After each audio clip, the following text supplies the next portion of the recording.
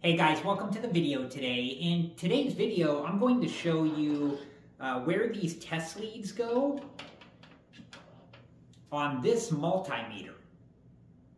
And the name of this multimeter is, so the brand is, uh, I think this is pronounced Astro AI. It might be pronounced something differently.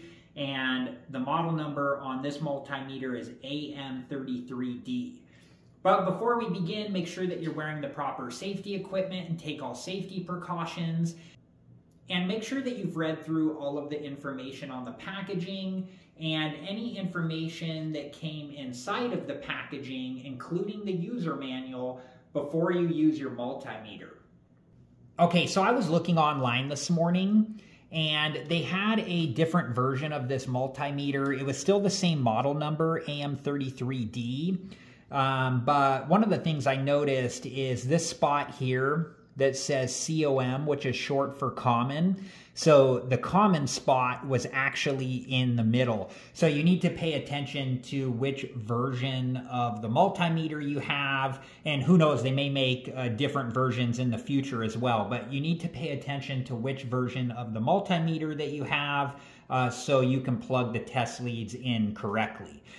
Okay, so I have the multimeter turned off. The dial is in the off position.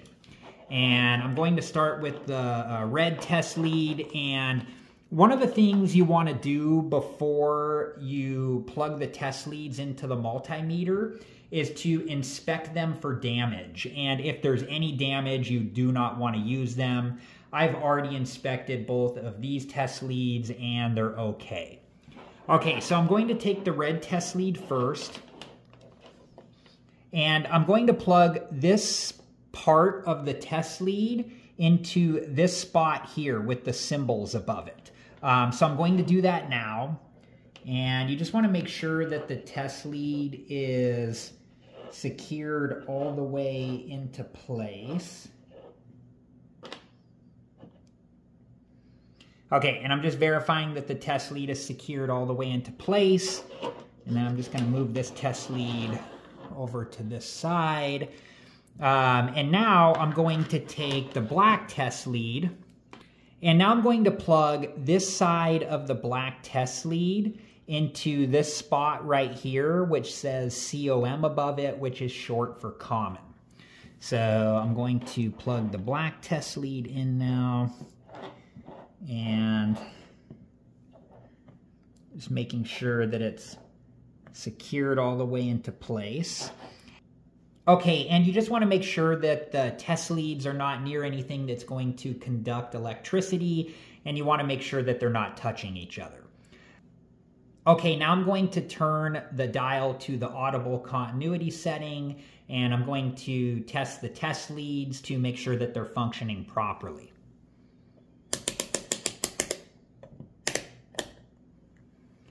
And to test the test leads, I'm just going to touch the two tips of the test leads together and we should hear a beep from the multimeter, uh, letting me know that the test leads are functioning properly. And when you do this, you want to keep your fingers and hands and anything else uh, behind the finger guards.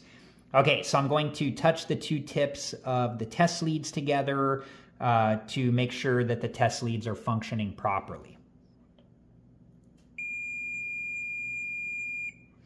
Okay, so we heard the beep, um, so the test lead should be functioning properly.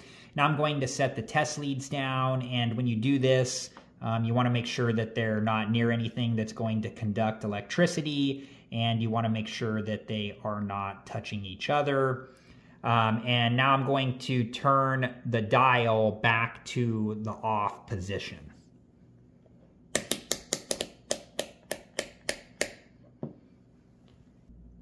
Okay, so the red test lead is plugged into the spot with the symbols above it. And there's only one spot on uh, this dial of this multimeter where the red test lead is going to move to the spot uh, that has 10A max above it. Um, and that spot is when DC current is being tested on the number 10 setting uh, right here. And I'm going to show you um, now so you can see that visually. Um, so the first thing that needs to be done is you need to make sure that the multimeter is turned off and the dial is in the off position. And now I'm going to remove the red test lead.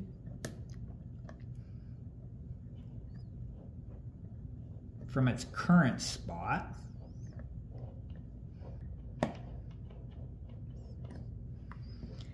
Okay, so now I'm going to plug the red test lead into the spot that has 10A max above it.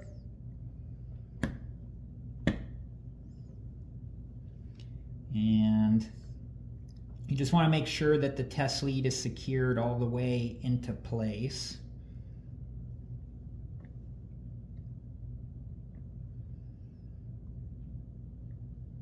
I'm just verifying the black test lead is secured into place as well. Okay, so just above the red test lead, it says fused max 10 SEC, which is short for seconds, each 15 MIN, which is short for minutes. Um, and what that means is while DC current is being tested on uh, the number 10 setting um, and the red test lead is in the spot that it's in now that says 10A max above it um, on this multimeter. It means that the maximum amount of time that can be uh, tested is 10 seconds. And then after that, you would need to wait for 15 minutes or more before you test again. Okay, um, so now um, I'm going to show you the, the spot on the dial uh, that correlates to um, where the red test lead is currently at.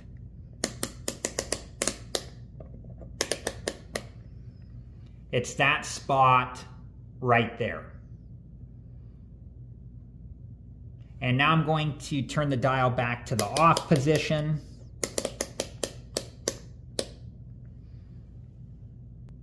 Okay, and when the test leads are set down, you just want to make sure that they're not near anything that's going to conduct electricity and that they're not touching each other. And now I'm going to remove the test leads from the multimeter.